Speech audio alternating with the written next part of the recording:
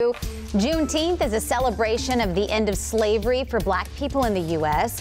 Takes place on June 19th. Plenty of events are happening across Charlotte this weekend to honor the holiday.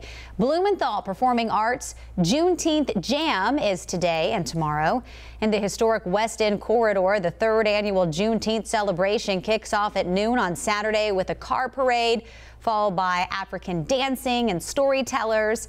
And the Harvey Gantt Center will host a family-friendly celebration on Sunday featuring art and a live performance by uh, Quentin Talley and the Soul Providers. The annual Juneteenth Festival of the Carolinas is underway right now. The Multicultural Free Festival celebrating 25 years this year. Kicked off with cultural Camp for the Kids in Plaza Midwood.